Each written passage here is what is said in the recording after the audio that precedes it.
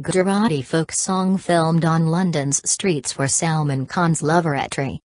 Salman Khan's upcoming production, the Abhiraj Minawala directed Loveratri that marks his brother-in-law Ayush Sharma's acting debut opposite Warina Hussain, is jumping on the remix bandwagon.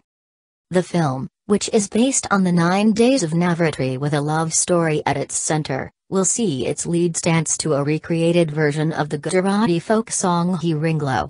The track has been choreographed by Vaibhavi Merchant and composed by Lijo George and DJ Chetas.